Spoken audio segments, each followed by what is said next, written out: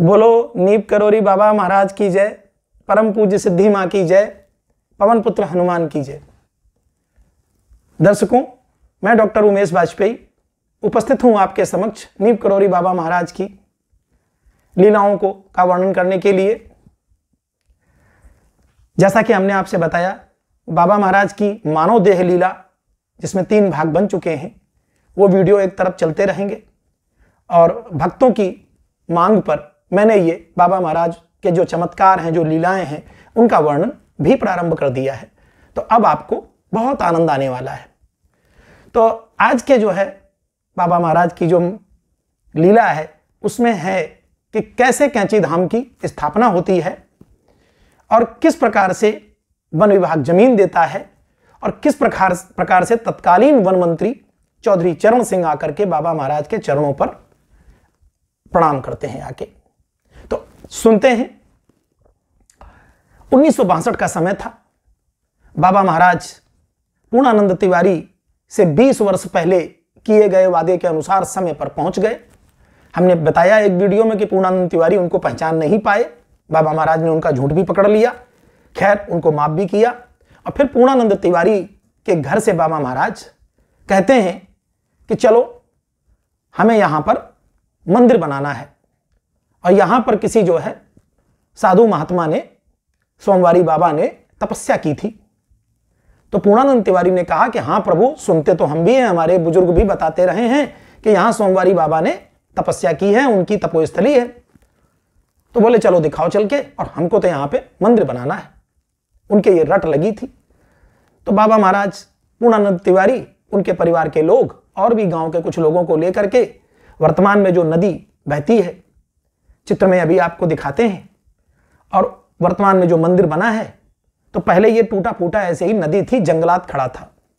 बाबा महाराज धीरे से नदी पार करके और उस पार गए। तो वर्तमान में कैंची धाम में जो हनुमान जी की मूर्ति है, और उसके पीछे ठीक गुफा बनी हुई है, जहाँ धूनी जो है, सुलगा करती है। आपने अगर दर्शन किए होंगे तो ठीक, अन्यथा हम आपको कराते हैं। तो बाबा महाराज पहुँचे तो बहुत जंगलात थी। खैर, धीमे से वहाँ से फावड़ा वड़ा सब मगा करके कुदाल उदाल और सफ़ाई की गई। कुछ बाबा महाराज ने देखा कि यहाँ तो बहुत जंगल है। तो बाबा महाराज ने कहा कि यहीं पर मंदिर बनाएँगे। तो बोले, ऐसा है कि ये जो फूल है, एक फूल उठाया और कहा, जहाँ गिरे, वहीं खुदाई करो, ऐसे करके फेंका। फूल जहाँ गिरा तो बोले, पूर्णानंद, यहाँ खुदाई करो।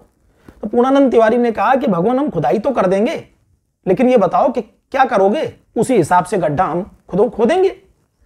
उसी हिसाब से मेहनत ज़्यादा नहीं करनी पड़ेगी। तो उन्होंने कहा, ऐसा है, यहाँ पर धूली निकलेगी, राख निकलेगी। और तू कहता है ना कि यहाँ सोमवारी बाबा की तपोस्थली है तो यहाँ पे फिर राखी निकलनी चाहिए। तो पूर्ण पूर्णानंद तिवारी और उनके परिवार के लोगों ने खोदना चालू किया गोल गोल तो एक से डेढ़ फीट खोदा होगा और वहाँ पर राख निकलना चालू हो गई और धुनी निकली, हवन कुंड ऐसा निकला। बात सिद्ध हुई। अब सब गाँव वालों के मन में बड़ा कौतूहल कि ये तो बहुत पहुँचे हुए संत हैं, इनको कैसे पता? तो बोले, यहीं पर हम अपने हनुमान को बिठाएँगे और बाबा महाराज ये कह करके वहाँ से चल दिए और एम्बेसडर में बैठकर नैनीताल चले गए। अगले दिन लेके आए वन विभाग के कुछ कर्मचारियों को। वन विभाग के कर्मचारियों को दिखाया पूर्णानंद तिवारी का पूरा परिवार और पूर्णानंद से कहा कि पूर्णानंद, अब तो मेरे साथ ही रहेगा और उनको साथ भगवान ने कर लिया। कृपा है उनकी। पूर्णानंद भी साथ लग लिए और वन विभाग के कर्मचारी से कहा कि देखो, हमें यह जगह चाहिए और हम यहाँ पर मंदिर बनाएँगे। और मंदिर बनाने के लिए वन विभाग के कर्मचारी से जगह मांगी। जब जगह मांगी तो वन विभाग के कर्मचारी ने कहा कि, महाराज जी, ये जो जगह है, ये वन विभाग की है। पूर्णानंद ने कहा, हमारी तो वैसे भी नहीं है। और वन विभाग की है तो इसमें हम ज़्यादा जगह आपको दे नहीं सकते, हमारे अधिकार क्षेत्र में नहीं है।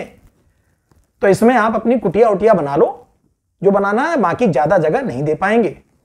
तो बाबा महाराज ने कहा कि, कौन दे पाएगा? तो बोले, हमारे जो मंत्री हैं, वही कुछ कर सकते हैं। तो बोले, कौन है तेरा मंत्री? तो उसने कहा कि, चौधरी चरण सिंह। तो बोले अच्छा चौधरी चरण सिंह वन मंत्री है। ठीक है तो वो ज, वो जगह देगा मंदिर के लिए। और ये बात कह के बाबा महाराज सभी के साथ वहाँ से हटे और चले गए वापस। विश्वास नहीं मानेंगे भक्तों मात्र जो है अगले दिन या उससे अगले दिन। और उसके बाद कैसे क्या होता है आप समझिए जरा कि बाबा महाराज तो वहाँ से चले गए और चौधरी चरण सिंह अगले दिन वहाँ पर आकर के उपस्थित होते हैं। बाबा महाराज साथ में होते हैं, पूरा अमला होता है और चौधरी चरण सिंह आके जैसे ही नज़रों नज़रों में नज़रें मिलाते हैं, नतमस्तक हो जाते हैं। पहले कभी नहीं मिले थे। तो उन्होंने कहा कि महाराज जी, आदेश करिए, हम क्या आपकी सेवा कर सकते हैं? बोले सेवा यही कर सकते हो कि हमें यहाँ मंदिर बनाना है, हमें जगह चाहिए। बाबा महाराज की बात को काटने की हिम्मत चौधरी चरण सिंह में नहीं थी। उन्होंने कहा अपने अधिकारियों से कि बाबा महाराज जितनी जगह मांगे, उससे दो गुनी, चार गुनी जगह इनको दे दो। और बाबा महाराज ने जब उनकी ये बात सुनी तो चौधरी चरण सिंह को आशीर्वाद दिया और चौधरी चरण सिंह से कहा कि जा, एक दिन तू जो है भारत का प्रधानमंत्री बनेगा। ये बात आशीर्वाद दे दिया। और चौधरी चरण सिंह ने झुक करके प्रणाम किया और कहा, महाराज जी, आप मंदिर का निर्माण कार्य शुरू कराइए। और जितनी भी लिखा पढ़ी की कार्यवाही है, वो तीन से चार दिन में आपके पास हम पहुँचा देंगे और एक रुपया लीज पर प्रतिवर्ष पट्टा हम कर देंगे मंदिर के नाम। और इस तरीके से बाबा महाराज ने जब आशीर्वाद दिया तो मित्रों, आपको विश्वास नहीं होगा कि कहीं दूर दूर तक उम्मीद नहीं थी, लेकिन बाबा महाराज के आशीर्वाद से वही चौधरी चरण सिंह बाबा महाराज के देह त्याग के बाद 26 दिन के लिए प्रधानमंत्री भारत के बने। तो ऐसे थे हमारे बाबा महाराज, जो वो कहते थे वही होता था। तो आप भी बाबा महाराज की गाथाओं को सुनने के लिए हमारे इस चैनल को सब्सक्राइब करें, लाइक करें, शेयर करें अधिक से अधिक, और अगर आनंद आ रहा है तो आप कमेंट बॉक्स में जाकर के अवश्य लिखें, और अगली गाथा के लिए आप इंतज़ार करें, और मैं अपनी इस गाथा को यहीं पर समाप्त करता हूँ। बोलो गुरुदेव महाराज की जय।